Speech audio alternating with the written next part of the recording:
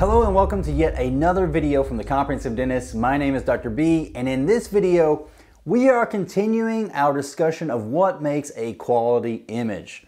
In previous videos we talked about proper exposure and sharp focus.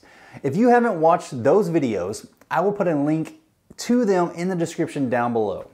In this video, we will discuss the last and final factor that makes for a quality image, and that is correct composition.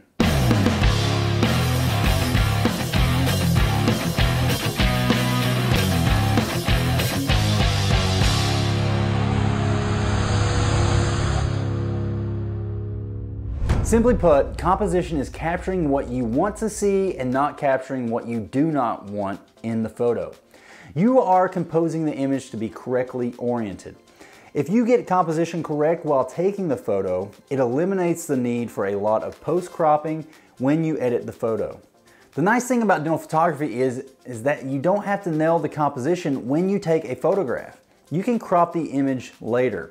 And truthfully, I frequently crop my pictures after I take the photo.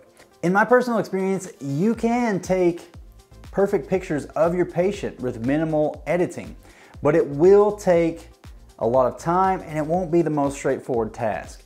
Have you ever had photos taken? Your mouth is dry, you have your cheeks stretched way out, you have these big mirrors shoved in your mouth. There's only so much of that someone wants to endure for a perfect photo.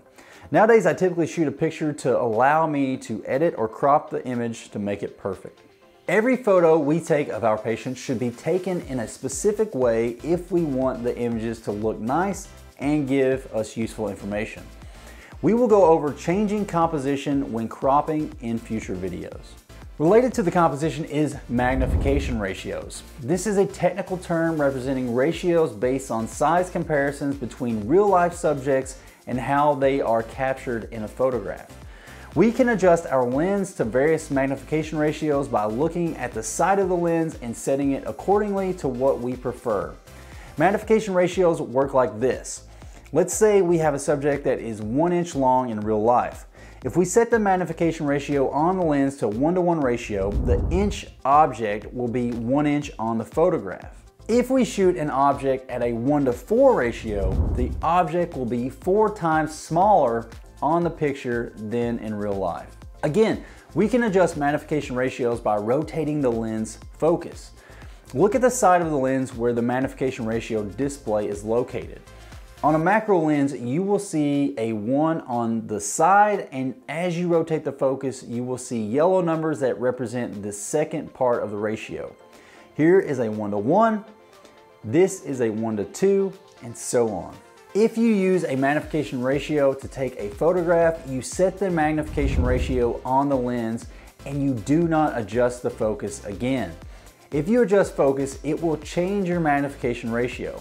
Instead, to focus, you move closer to or farther away from your subject until the subject is in focus. For various shots in dental photography, there are recommended magnification ratios. If you use magnification ratios, all of your images will be consistent in size and amount of subject being displayed in the final photograph. Using magnification ratios are optional but can be helpful. Sometimes I will use them and sometimes I do not. Even if I use magnification ratios, I still end up cropping my photos when I edit regardless. Therefore, I don't always use magnification ratios. All right, in three separate videos, we have looked at three primary factors that contribute to quality images, and they are proper exposure, sharp focus, and correct composition. We have discussed how aperture, shutter speed, ISO, and white balance affect the exposure. We've talked about how the depth of field and camera stabilization affect the focus.